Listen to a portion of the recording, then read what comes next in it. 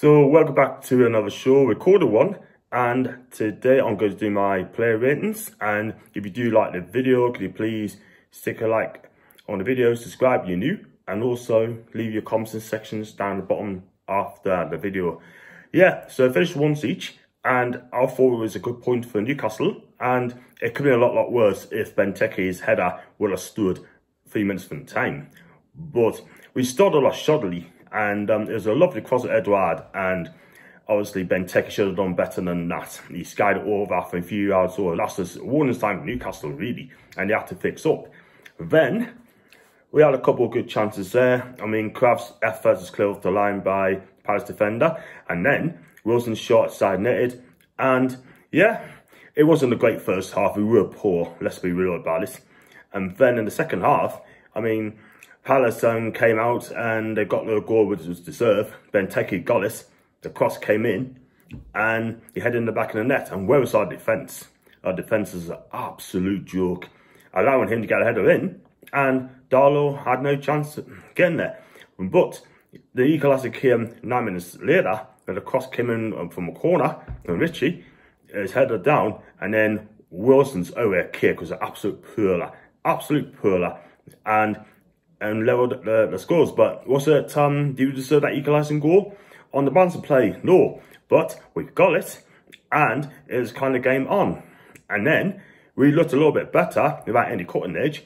And then Palace thought they won the game when a quarter came in and Benteke rose up, rose his header high into the back of the net. But 0 through 4 foul ruled out as Ciaran Clark was fouled by Guéhi and it was a right call. I thought at the time, I did a rush on with Paul, I thought, oh my God, that's Guillermo over there. Like, it did not look great because our defence was absolutely shocking again. So, here's what it is. We got a point, and Graeme Jones' first game as caretaker manager, and he has got a point. And we do need a new manager in ASAP because we got Chelsea coming up on Saturday, and then we've got Brighton away, and by the time we play Chelsea, we could be six points adrift from safety, not where we want to be. So I'm going to go into the player ratings, and I'm going to go with Karl Darlow. Look, listen, it was okay performance. He did a couple of good catches there, but what was he doing in the second half? Really race out of his um, area and clad into our centre backs. That could be costly. One would have gone the back in the net. Not only that, he had no chance. I'm not going to slate him for that. But at the end of the day, he needs to calm the defence down, which you haven't been doing. That's with Mr. Bracker. So I'm going to give him 5 out of 10. And I'm going to go on to Manquillo. I think he did okay. I mean, listen, he didn't do anything great, but he didn't do anything awful for me. But he came better shutting down the crosses, and as a centre-back struggled to deal with at times. But listen, what you see from Javier is what you're going to get. That he did okay. So I'm going to give him a 6 out of 10. I'm going to go on to Emil Krafth. I mean, I was absolutely shocked when he's in the team. In the team, and I thought, wow, does Graeme Jones believe in this guy?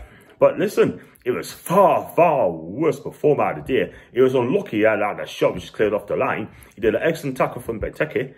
And and he showed commitment as well. So listen, he ain't the best player. And listen, let's hope he steps up now because he needs to fix up very quickly. But in a relegation fight, is he up for it? Or when the new manager comes in, it could be Pablo, Pablo Fonseca. Then we're about to find out, won't we? So I'm going to give Emil Krafth, this is going to be a surprise to a few people. I'm going to give him, yeah, I'm going to give him a 5 out of 10. On to Jamal Lascelles. Listen, he did okay of his organisation positioning, but my God, his ball playing ability is absolutely poor. He keeps the ball away, got the yellow card as well. And I tell you what now, if Fonseca comes in, his days is numbered. I'll be real. He will not be playing for Fonseca at all because he wants defenders to play out from the back. This player ain't good enough. And I'm going to give Lascelles a 3 out of 10. I didn't think he was that great today. Ciaran Clark, I'm going to give him a 3 as well. Listen, he shouldn't be in the team again. I think his time in Newcastle is done. But, listen, when he's in, he does try his best. But my God, I mean, it was a fault for the Benteke school. I thought he was weak. And at this moment in time, he's so easily bullied by the players like Benteke. I can imagine Lukaku was playing on Saturday and faced Ciaran Clark, so we won with her there. Let's be real. And I think for me, Ciaran's time in Newcastle is finished. I think he needs to be moved on. So I've got to give him, yeah, I've got to give him a three as well. I didn't think it was that great as well. And I'll go on to Matt Ritchie. Listen, that set up, um, that corner got us a goal, right? A set piece delivery is a big, big issue for me. It's not, it's not to the standard that we need at this football club, yeah? I think he's, nothing's gone backwards. I have to agree with PD Parlock as well. I think he's gone backwards as well. I think he's done in Newcastle. I love his passion. And yeah, I'm going to give um, Ritchie a 4 out of 10. Let's be real. And I think he needs to be dropped from the team as well and give Jamal Lewis a go. Yeah, we're going to go straight to the midfield. I'm Sean Longstaff. I've got to start with him. I'm going to give him a 4 as well. Listen, he did okay in moments. In some moments, not being funny, it still concerns about lack of fitness for me. He gives the ball way too easy on many occasions, and that's not acceptable for this football club. Yeah, he needs to fix up very quickly. Yeah, is his head turned? I've said this before. Is his head turned to another club because he's out contract at the end of the season, and is he going to fit into a second team if he does come? I don't know. But we do need better midfielder players. We need creativity. We need a destroyer. Talking of destroyer, I think Hayden, Isaac Hayden's lost his way. I'm going to give him a four as well. Listen, he did, I mean, he went for a 15 tackle, which I think he just got away with it. He could have got booked for that. But I'm not being funny, but his fitness levels at this club at the minute, I just don't know what's wrong with this guy. I really don't. Listen, I love Isaac. I really, really do. But our midfield's too passive. And I've yet to see the real Isaac Hayden Sure, it's best. And he hasn't really done that this season. I've been very disappointed with him. And he's looked way off the pace as well. So I'm giving him 4 out of 10 as well. And let's be real, I mean, we can't drop him because he's one of the best players he's got, but he's just not showing it at all. So 4 out of 10 for Hayden. On to Fraser, his first start of the season, I believe. And let's be real, it's not been impressive at all whatsoever. I mean, Bournemouth fans, has he? have you ever seen him play in midfield when he's been at your club? Because I've never seen Ryan play in midfield or central midfield. Not at all. Out of position yet again. Yeah? But his position's a left winger or a right winger. Put decent crosses in. And I'm sorry, but I've yet to see that from him. Don't get us wrong, he's not playing any games. Excuse me. But if he's going to start matches, he's got to play on the correct position. And that's on the left side or right side of midfield. Yeah? I'm going to get Fraser a 3 out of 10. And ASM, Listen, I do love ASM lots, yeah? But let's be real. I just don't think, I think it's just the worst performance of the season. In fact, the worst performance I've seen of him playing for Newcastle, yeah? He didn't carry any threat. He gives the ball away way too much. And if he's going to play in that position, he needs to fix up.